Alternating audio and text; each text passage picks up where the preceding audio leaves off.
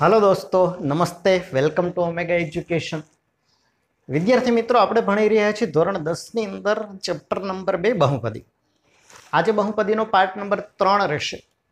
આગળના લેક્ચરની અંદર આપણે પાર્ટ નંબર બેની અંદર બહુપદીના પ્રકાર શીખ્યા અને બહુપદીના આલેખ શીખ્યા. બહુપદીના પ્રકાર પર આધારિત થોડીક થિયરી આજે સમજવી છે. અને સ્વાધ્યાય બે પોઈન્ટ બે આપણે શરૂ કરીએ. એ પહેલાં સ્વાધ્યાય બે પોઈન્ટ બે માટે જરૂરી થિયરીની આજે ચર્ચા કરો. એટલે આજના લેક્ચરમાં આપણે સ્વાધ્યાય બે પોઈન્ટ બેનો બેઝ બનાવીશું. હવે સૌથી પહેલી વાત આપણે કરી દઈએ. બહુપદીના પ્રકાર તમારી સામે ગયા પીરિયડની અંદર ચાલી ગયા છે. એટલે જેમણે તે પીરિયડ લેક્ચર જોયો નથી, એ પહેલાં જોઈ લેશે. પછી આજની ચર્ચા શરૂ કરીએ. એકઘાત બહુપદી કોને કહેવાય? દ્વિઘાત બહુપદી કોને કહેવાય? ત્રિઘાત બહુપદી કોને કહેવાય? આપણે સમજી ગયા. એના કેટલાક એક્ઝામ્પલ તમારી સામે મેં મૂક્યા છે. એક ઘાત બહુપદીના ઉદાહરણથી આપણે શરૂઆત કરીએ ફરીથી એકવાર. એક્સ પ્લસ સાત, બે એક્સ પ્લસ ત્રણ, પાંચ એક્સ પ્લસ એક. આ બધી બહુપદી છે, એક ઘાત બહુપદી છે. કોને એક ઘાત બહુપદી કહેવાય? જે બહુપદીમાં જે બહુપદીમાં ચલની મોટામાં મોટી ઘાત એક હોય. જે બહુપદીમાં ચલની મોટામાં મોટી ઘાત, ચલ એટલે એક્સ એક્સની મોટામાં મોટી ઘાત એક્સની ઘાત એક છે. અહીંયા એક્સ છે જ નહીં. તો આખી બહુપદીમાં જેટલા પણ પદ છે, એ બધા જ પદમાં ચલની મોટામાં મોટી ઘાત એક છે. આવી બહુપદીની એક ઘાત બહુપદી કહેવાય. બીજા એક્ઝામ્પલની અંદર જઈએ, તો આમાં ચલ છે એક્સ આની ઘાત એક. અહીંયા ચલ નથી. તો આખી બહુપદીના બધા જ પદમાં ચલની મોટામાં મોટી ઘાત એક છે. એક ઘાત બહુપદી. અહીંયા પણ એ જ રીતે. અહીંયા તમે જો આ બહુપદીમાં ત્રણ પદ છે. દરેક પદમાં તમે ચલની ઘાત જુઓ તો શું મળે? તો ચલની મોટામાં મોટી ઘાત બે, અહીંયા એક્સની ઘાત એક, અહીંયા એક્સ નથી. તો ચલની મોટામાં મોટી ઘાત બે છે. આ દેખાય બે દ્વિઘાત બહુપદી.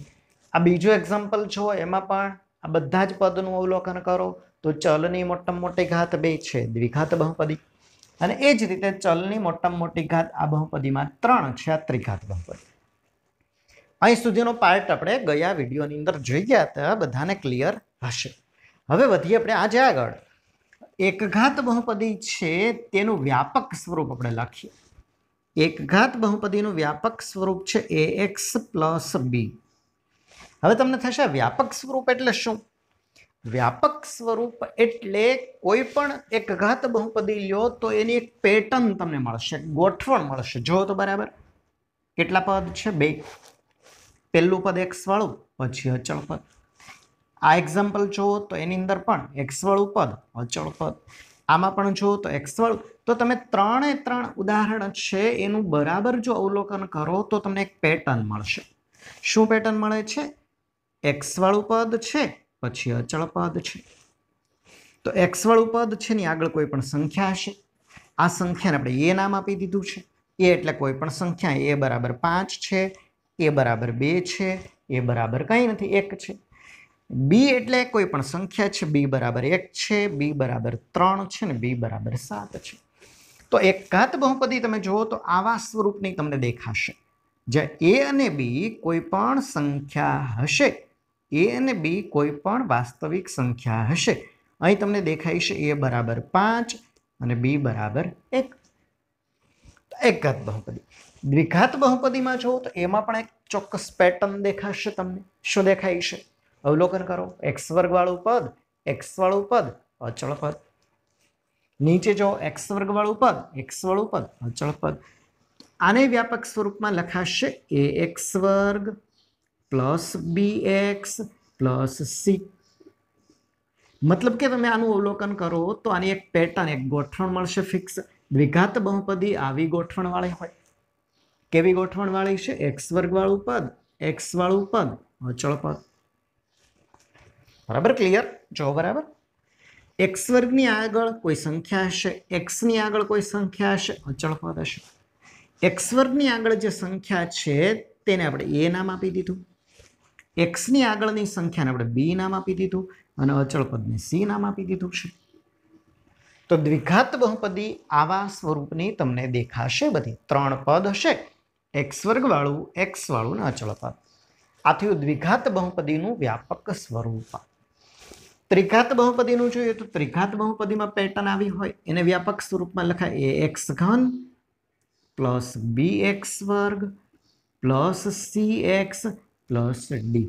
યાદ રાખો અહીંયા એ, બી, સી અને ડી આ કોઈ પણ વાસ્તવિક સંખ્યાઓ હશે. આપણું જે ધ્યાન છે કેન્દ્રિત આપણે કરવાનું છે દ્વિઘાત બહુપદીઓ ઉપર. એટલે મૂળ આપણા જે પ્રશ્નો છે બધા એ દ્વિઘાત બહુપદીને અનુરૂપ છે, એટલે આપણે દ્વિઘાત બહુપદીની થોડીક વિસ્તૃત ચર્ચા કરી દઈએ. અને પછી એના પછી બે પોઈન્ટ બેની શરૂઆત કરીશું તો દ્વિઘાત બહુપદી હું તમારી સામે કેટલાક એક્ઝામ્પલ મૂકું છું. બરાબર, ધ્યાનથી તમે અવલોકન કરશો. દ્વિઘાત બહુપદી આવા સ્વરૂપની છે. એ એક્સ વર્ગ plus b x plus c. આ વ્યાપક સ્વરૂપ થયું. હવે હું એક ઉદાહરણ મૂકું છું. બે એક્સ વર્ગ વત્તા ત્રણ એક્સ વત્તા પાંચ. અને તમને હું પૂછું મને તમે એ બી સી ના મૂલ્ય લખી દો. તો એ બી સી એટલે શું થશે? અહીં જોઈ શકશો તમે. એ બરાબર કેટલા છે? બે. બી એટલે એક્સની આગળની સંખ્યા ત્રણ અને સી એટલે અચળ પદ તો હું તમને પૂછું એ કેટલા છે? આ બહુપદીમાં જુઓ તો એ એક્સ વર્ગ plus b x plus c તો એ બરાબર બે થયા. બી બરાબર બી એક્સ એટલે બી બરાબર ત્રણ અને સી બરાબર પાંચ. ક્લિયર જો બરાબર? બધાને એ બી સી ક્લિયર થયો. એ કોને કહેવાય? બી કોને કહેવાય? સી કોને કહેવાય? એ એટલે એક્સ વર્ગની આગળની સંખ્યા આને આપણે સહગુણક પણ બોલીએ છીએ.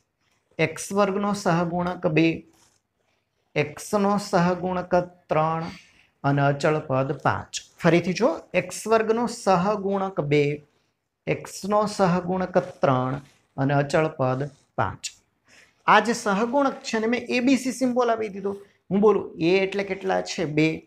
એ એટલે એક્સ વર્ગનો સહગુણક બી એટલે એક્સનો સહગુણક અને સી એટલે આ પદ તો એબીસી તમે લખી શકવા જોઈએ.